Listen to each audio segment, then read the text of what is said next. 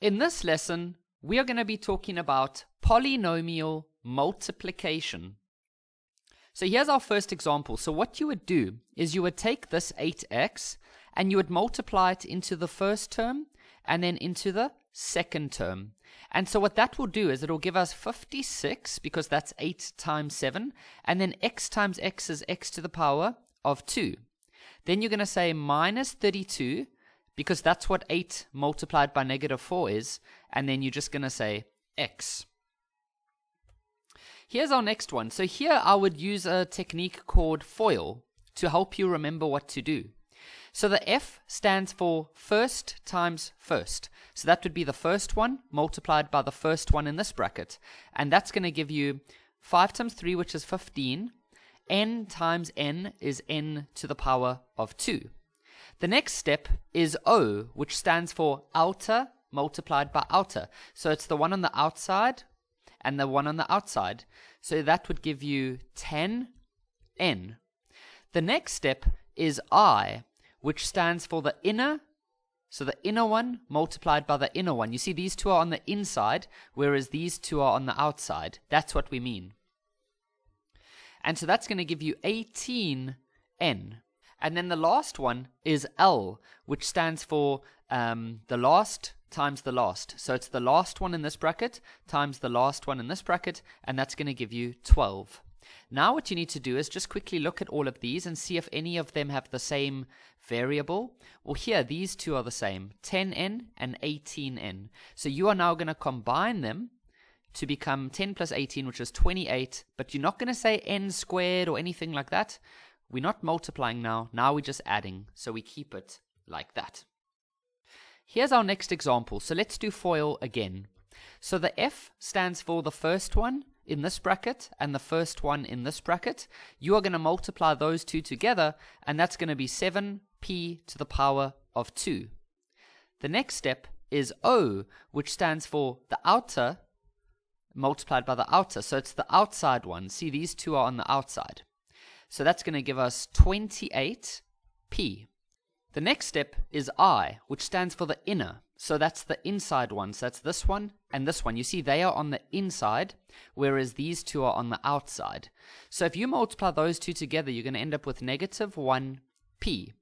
And then the last part is to do L, which stands for the last and the last. So it's the last one in this bracket, and it's the last one in this bracket over here. And so that's going to be negative 4. Now you need to realize that these two are both p's, so you need to put them together. So that's going to be 28 take away 1, which is 27, like that. Ooh, here's a nice one. So now we can't use FOIL because FOIL only works for four things at a time. So what we can do here is I'll, I'll tell you the following. Take this one, and then what you do is you multiply it with this one, with this one, and with this one. Okay, so let's go do that.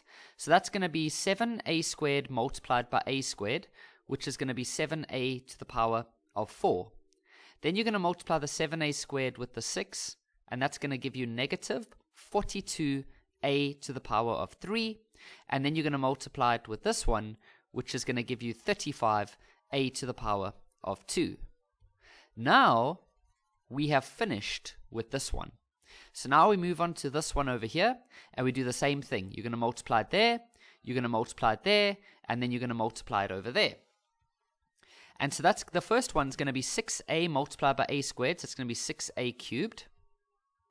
Then it's going to be the 6a multiplied by the negative 6a. I think I'll highlight it so you can see, which is negative 36a squared. I'm just going to rewrite everything quickly because we're running out of space. Okay, so then I'm going to erase all of this. So the next step now is to multiply the 6a and the 5. So those two over there. And so that's going to give us positive 30a. Okay, so now we are finished with the 6a. So we can scratch this one out. And now we do the same thing with the negative 2. So we're going to multiply to that one, to that one, and to that one. So we'll start with the negative 2 and the a squared. And so that's going to give you negative 2a squared. Next would be the negative 2 and the negative 6a, which is actually going to become a positive 12a. And then it's to multiply negative 2 with 5, which is negative 10. So what you would notice is that we've actually just done nine multiplications because there's three in here and they had to go with every single one of those. So three times three is nine. So if you count all of these, one, two, three, four, five, six, seven, eight, nine, we know we haven't left anything out. So now we're going to combine everything together, or the ones that can go together at least.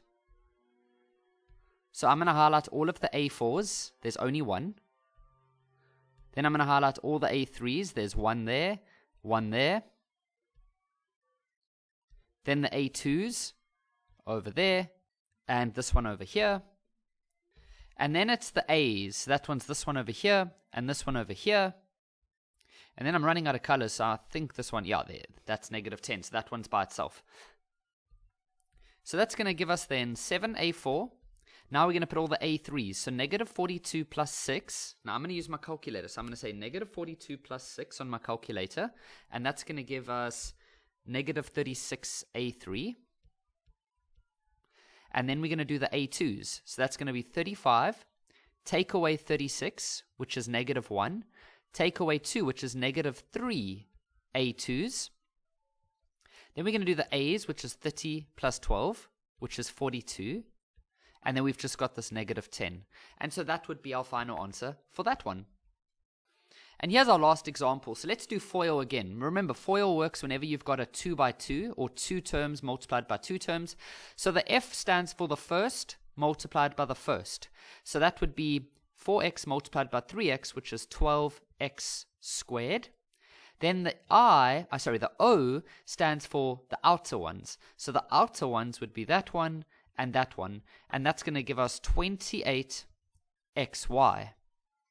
And then it's the inner ones, which is going to be this one and this one. And so that's going to be negative 9 xy. Whoops. And then it's the last times the last. So it's the last one in this bracket multiplied by the last one in this bracket. And that's going to give us negative 21y to the power of 2. Now, we need to put the like terms together. So we're going to put these two together because they both have the same term. And so we're going to end up with 12x squared plus 19xy because 28 minus 9 is 19 and then take away 21y to the power of 2.